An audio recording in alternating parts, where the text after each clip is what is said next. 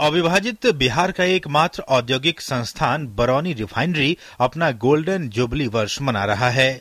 इसी कड़ी में देश के पेट्रोलियम मंत्री धर्मेंद्र प्रधान गोल्डन जुबली समारोह में शिरकत करने रविवार को बरौनी रिफाइनरी पहुँचे। इस मौके पर बोलते हुए धर्मेंद्र प्रधान ने बरौनी रिफाइनरी के उत्पादन क्षमता को 6 मिलियन मैट्रिक टन पर एनएम से बढ़ाकर 9 मिलियन मैट्रिक टन पर एनएम करने की घोषणा की। साथ ही पेट्रोकेमिकल्स कॉम्प्लेक्स लगाने और बिहार में पच्चीस हज़ार करोड़ का निवेश किए जाने की बात भी कही। आने वाले दिनों में जो सिक्स मिलियन टन की कैपेसिटी की रिफाइनरी है, इसको नौ मिलियन टन किया जाएगा। और पेट्रोलियम सेक्टर से बिहार के लिए पच्चीस हज़ार करोड़ रुपया की योजनाएँ पाइपलाइन के बारे में, क्रूड ऑयल पाइपलाइन के बारे में, प्रोडक्ट की पाइपलाइन के बारे में, गैस पाइपलाइन होगी। पटना, मुजफ्फरपुर, छपरा, गया, ऐसे सारे बड़े शहरों में पाइप गैस दिया जाएगा।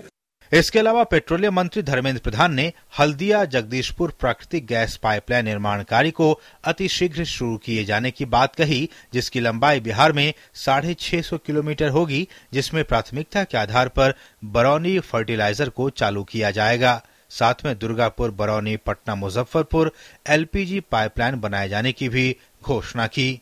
बिहार में एलपीजी कनेक्टिविटी सिर्फ़ 35 प्रतिशत है। इसको बढ़ा के आने वाले दो साल में राष्ट्रीय एवरेज तक लिया जाएगा। ये सारे सेक्टर में, पेट्रोलियम सेक्टर की, देश की, मुख्य देश में ये सबसे बड़ा पहला रिफाइनरी चौसठ में शुरू हुई थी। बिहार और ज़्यादा डिजर्व करता है।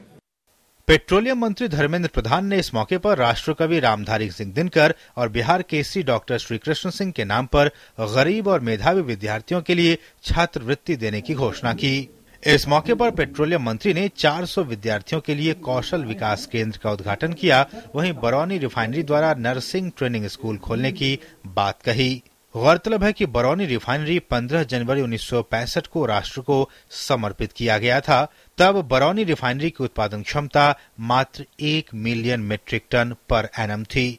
बरौनी रिफाइनरी में LPG, petrol, diesel, kerosene, coke, sulphur समेत अनेक तरह के पेट्रोलियम पदार्थों का उत्पादन होता है। उम्मीद की जा सकती है कि पेट्रोलियम मंत्री के आगमन से बरौनी रिफाइनरी के दिन लौटेंगे और बिहार का नाम राष्ट्रीय औद्योगिक मानचित्र पर स्थापित होगा। देश के पेट्रोलियम मंत्री धर्मेंद्र प्रधान सिर्फ़ गोल्डन जुबली समारोह में शिरकत करने बरौनी रिफाइनरी ही नहीं पहुँचे।